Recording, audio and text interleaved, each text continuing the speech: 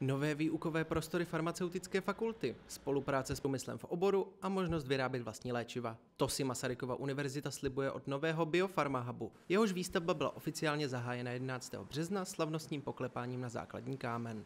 Vývoj těch posledních měsíců a let nám ukazuje, jak je důležité nejenom v energiích, ale právě i třeba v lécích, abychom jako Česká republika i jako Evropa byli méně závislí na nespolehlivých zemích. Projekt za téměř 4 miliardy korun prohloubí spolupráci farmaceutické fakulty s dalšími fakultami v areálu kampusu. Cílem je přilákat farmaceutické firmy z tuzemska i ze světa. Zároveň se tak zvýší i počet studentů. A já věřím, že tento projekt aspoň svým minidílem může přispět k tomu, abychom vychovali postupně novou generaci nových vzdělaných mladých lidí v oblasti farmacie a biomedicíny, a kteří budou se potom podílet na výzkumu a vývoji nových léčiv. Právě teď, vážené dámy a pánové, píšeme historii tohoto budoucího objektu.